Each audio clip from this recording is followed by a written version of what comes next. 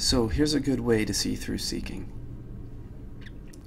It's just relax and go through the senses and see if there's anything to seek. Like, you know how people are seeking things like drugs, love, happiness, friendship, acceptance, fame, career achievement, money, enlightenment, recovery, self improvement, all those things. The seeking is based on the idea that there's something missing. So if you dispel the notion that something is missing, or then you then you dispel the seeking. And for something to be missing, it would have to be outside of experience. So if you find that everything is within experience presently, then there can be no more seeking. It's it's very logical actually. But you have to get into it with your experience too. You can't just think of it logically. You have to look. So let's look.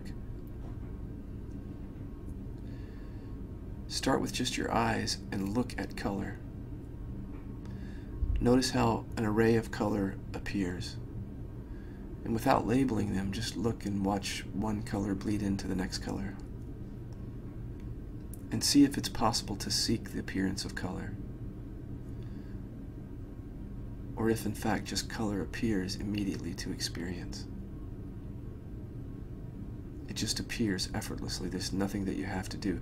The most that you would have to do is open your eyes, which is not effort at all. When you close your eyes, there's just black, and that appears effortlessly. Nothing to seek there. When you open your eyes, color appears. But you see, the, your eye, your eyeballs aren't thinking. Your eyes are just presenting color. It's the voice in your head that presents thoughts, which are objects. The voice, uh, meaning either thoughts, excuse me, words or pictures. The thought stream is either in words or pictures. Words are just words, like, I ran to the store. Pictures are literal pictures of things, like drawings and images. Your eyeball is your eyeballs or vision, you could say, is not doing either one of those things. It's not giving you words or pictures. It's just giving you the raw experience of color and shape. Look around and just let one color bleed seamlessly into the next color, and that color bleeds seamlessly without labeling them.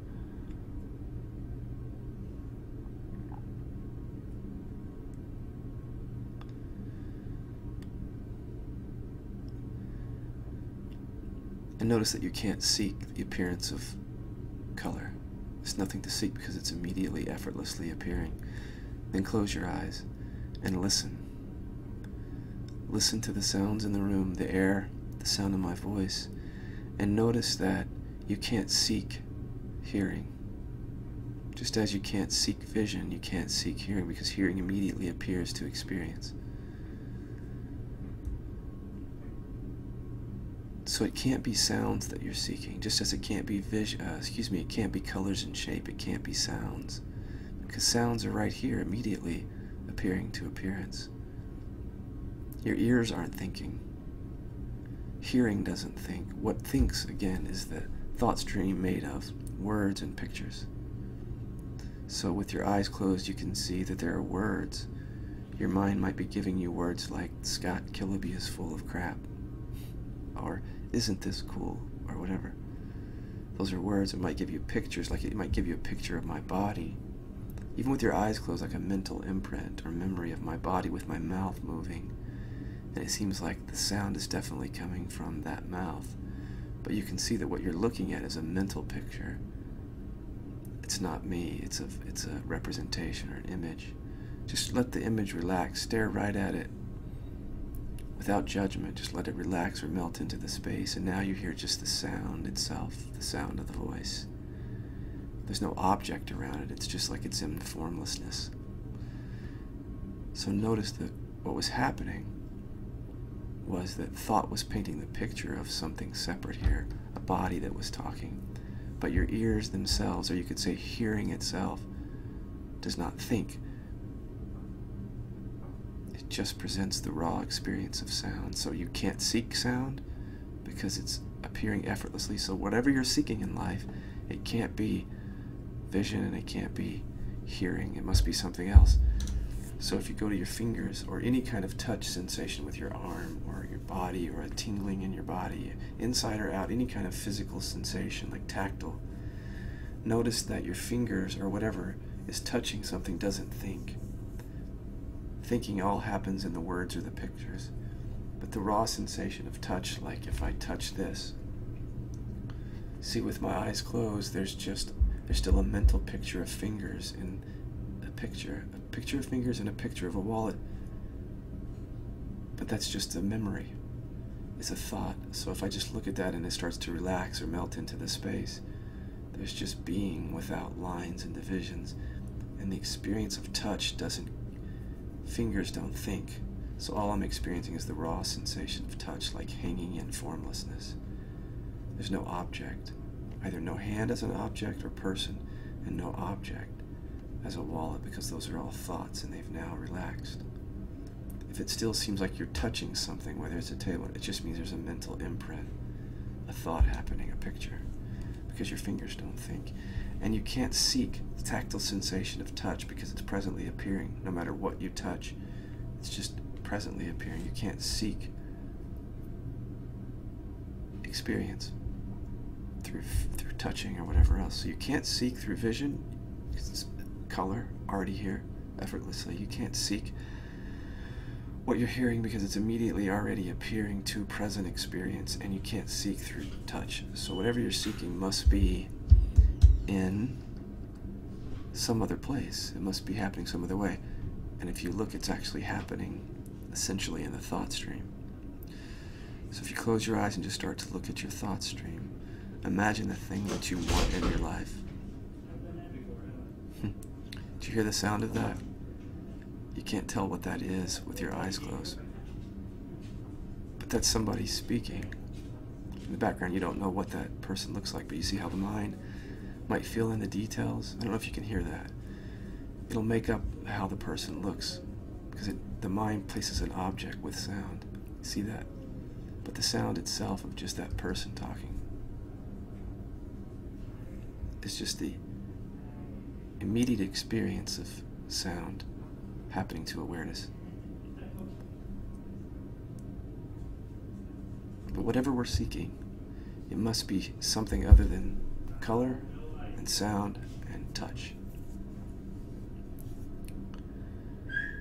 If you notice it's something in your mind, so you envision something in the future, like a better image of yourself, or a richer image, or a more knowledgeable version of yourself, or more famous, or enlightened, or recovered, or whatever, and it's a mental image, a picture that might bring about a feeling in the body, like a warm, tingly feeling, is like something something later is going to be so much better than our present experience.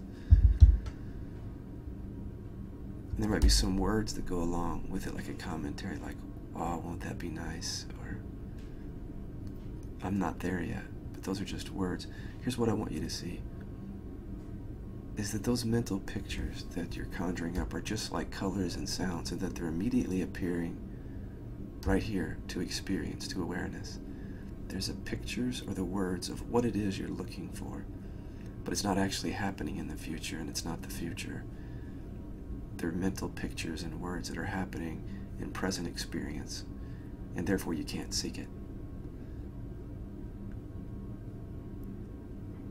Because you can't seek what is already presently appearing. No matter how you conjure up the future, it's still just a picture or a word or a set of pictures or words happening immediately and effortlessly to present experience within awareness. So the seeking happens is because there's like a dream. It's like beyond the image and the words, there must really be something out there that I'm seeking. But there isn't. There's nothing beyond the image and the words. And when you see that, then you see that all of the experience is right here. And therefore, there's nothing to seek. We've gone through all the modes, and there's nothing to seek through vision, hearing, touch, and thinking. Even if, the, even if you get a warm, fuzzy emotion, even if there's some emotions involved,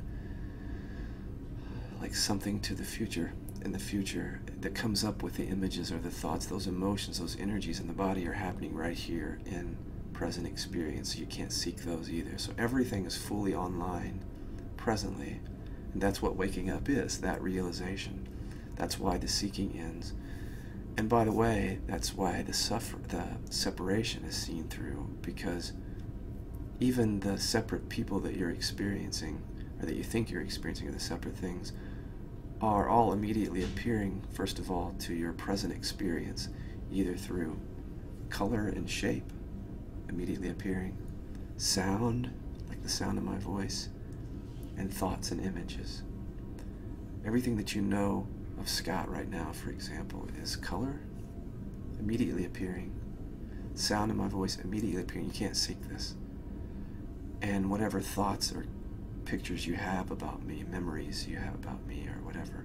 So everything is fully within your experience, directly appearing to awareness, inseparable from that which is experiencing it if you find a line of division or some sense of separation between yourself and me, it means you're imagining yourself as being one of the images. So if you close your eyes, you can see there's the body image of yourself. You see that? There's an image of the outline of your body. You see that? Well, look, that's actually just another mental image happening. The outline of that body is something appearing to what you are, appearing within experience giving you the impression that you are that image. But you're not an image, you're what's looking at the image. Could say you're awareness, but you're what sees that image. So you and all the thoughts that you have about you, like that you're a good person, bad person, are all words appearing presently to your experience here within awareness. And all the thoughts and images that you have about other people, like the image that you have of me, the thoughts you have of me, all are appearing within that same experience. You can see there's the picture of you, and then there's the picture of me, all happening here within your experience. The more you look into that, you can see that nothing, nothing is outside of experience. So it comes back to that question of once you see everything is in experience presently, effortlessly appearing. Even the good stuff, I mean, even the bad stuff, even the awful feelings like anger, frustration, loneliness are all energies here in the body. And if you don't try to do anything with them, there they are, just energies appearing as part of the tapestry of present experience, just allowed to be as they are. That's just part of experience. Everything is within awareness. Even your doubts about it. If you have a doubt about awareness, like this, like he can't be right about this. Your doubt is appearing presently. Look at it. It's like a series of words. I doubt what he's saying, or he's this is stupid. Those thoughts are appearing. Even if doubt somehow manifests in the body as some sort of feeling, it's right there immediately to your experience. So there's nothing to seek once you see that everything is already here presently. And that's actually the relaxation.